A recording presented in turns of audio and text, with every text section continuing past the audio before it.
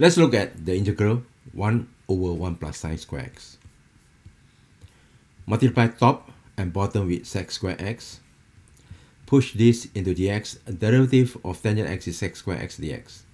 Distribute that in sec square x with 1 and then this you get tangent square x because sec square x is 1 over cosine square x times sine square x is tangent square x. Right, rewrite this as 1 plus tangent square x using the identity. Now you have 2 of these, you get 2 tangent square x and 1. Push this into the square, you get square root 2. Tangent x square, square of tangent x is tangent square x, square of square root 2 is 2. Now we can output the result of this integral, it will be, it will be uh, arc tan of whatever thing here is and check for coefficient there's one square root 2 they are different therefore we need to correct by dividing by square root 2 so this is the result of the integral. Done. Thank you for watching. Hope video is informative helpful. Before you go make sure subscribe share comment and don't forget to hit or smash the like button. See you